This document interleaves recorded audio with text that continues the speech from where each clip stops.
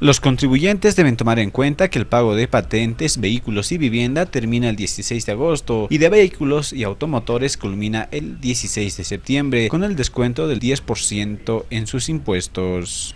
A los parámetros de cobro dentro del periodo fiscal en cuanto es al rubro de impuestos a la propiedad de bienes inmuebles que ya fenece dentro de lo que es los plazos de, de cobro con el 10% del descuento eh, hasta el 16 de agosto impostergablemente con lo que es el descuento del 10%, tanto a los de tercera edad más el 20%, vale decir un 30% estarían beneficiándose los de tercera edad a sola presentación de su carnet de identidad que demuestren el domicilio legal en el departamento de Oruro. Dentro de lo que es el impuesto a la propiedad de vehículos automotores, tenemos hasta el 16 de septiembre, impostergablemente, dentro de lo que es el cobro con el descuento del 10%. ¿no?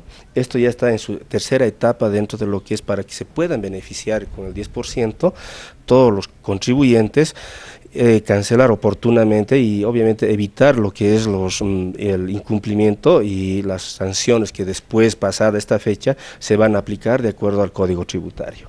Dentro de lo que es tasas eh, de alcantarillado, también tenemos hasta la fecha, hasta el 16 de agosto, con sus descuentos correspondientes. Dentro de lo que es patentes de comercio, de actividades económicas y mercados, también fenece el 16 de agosto. ¿no?